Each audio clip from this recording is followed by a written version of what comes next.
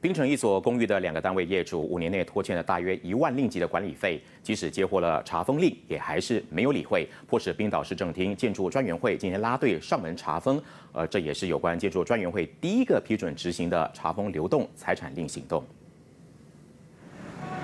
啊，这个查封令是授权呢，让这个管理层可以查封他们这个拖欠管理费，他们单位里面的这个流动物产，所以呢。这个查封令呢，呃，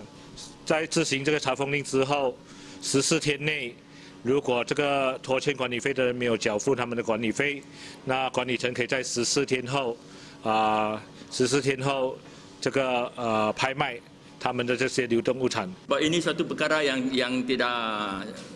elok, tapi kena dijalankan lah. Kalau sebab ini satu masalah yang penting yang dihadapi oleh banyak-banyak. kondominium Papangsa Puri di seluruh Malaysia. So sebab itu kita perlulah menjalankan uh, perkara hari ini untuk membuka mata lah semua you know pembayar maintenance yang tak mau ber, ber, uh, bertanggungjawab. 位于巴都丁仪伊甸园公寓的这两个单位，分别拖欠了九千八百零二令吉六十仙和一万两千三百四十七令吉八十七仙。